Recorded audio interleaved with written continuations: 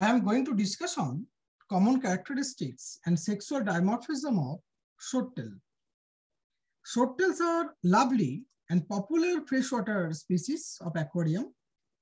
Due to their beauty and low maintenance, these fishes make great choice for beginner.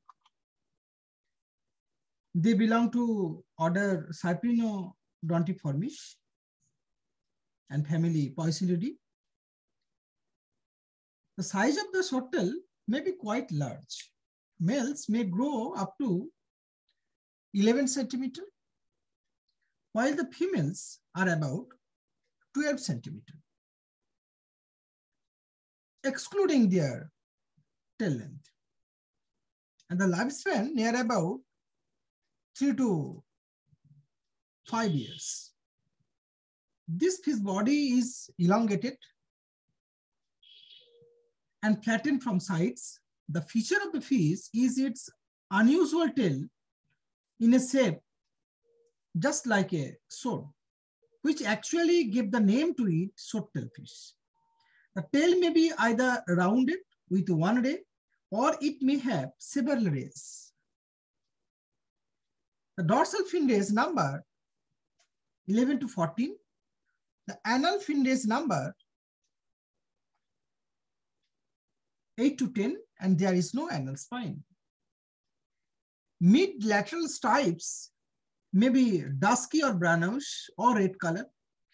Two additional red stripes may be present above the mid-lateral line and one beneath. For the fish coloring, it is difficult to just one pattern, though red with black tail seems to be the most spread one. And it is quite complicated tasks to describe all the species since uh, there is a large variety of its hybrid, such as koi hybrid, such as pineapple hybrid, such as neon swordtail. And the wild swordtail has a olive green body with green or red or brownish stripes along the lateral lines of the sides. They can also have speckles on the dorsal fin and sometimes on the caudal fin.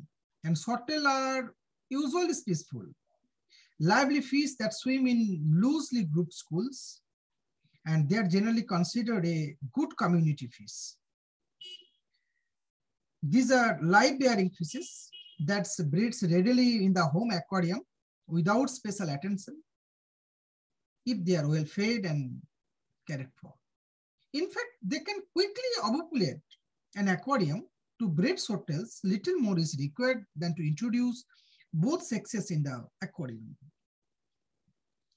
Although they usually attain sexual maturity at about 8 to 12 months, and the average lifespan of this fish is three to five years.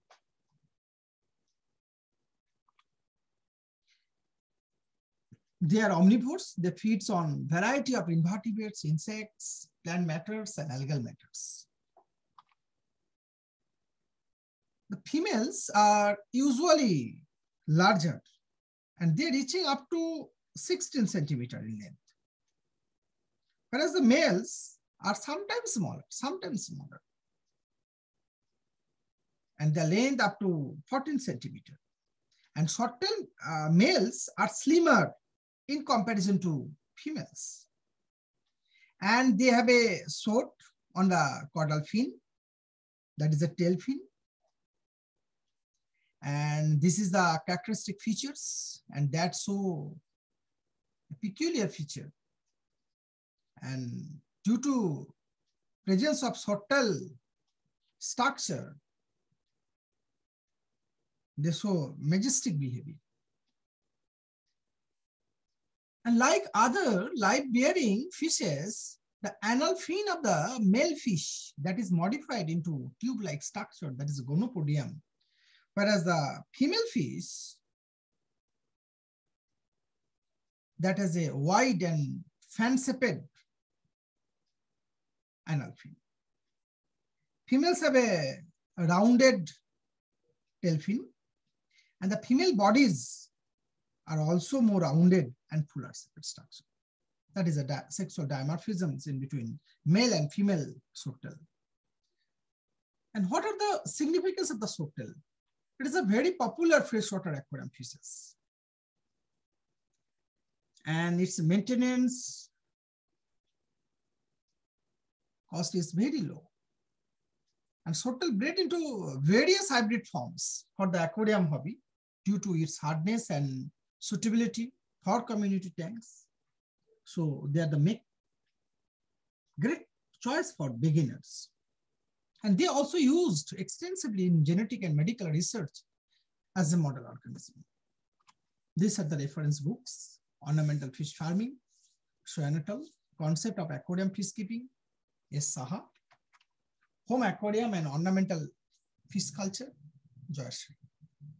And the image that are presented in my talk captured from Google image. Thank you, everybody.